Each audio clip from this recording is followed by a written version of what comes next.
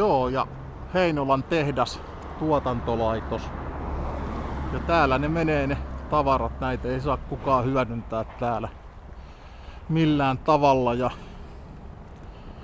murskaimen läpi toisin kuin SER-direktiivi edellyttäisi.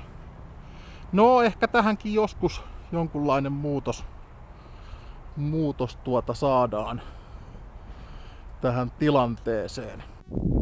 Kohtahan se aukeaa se suunnistussivustokin, että pääsee niin lukemaan vinkkejä, että miten maastossa suunnistetaan, kun mä päätin lähteä nyt tässä kuntoilemaan.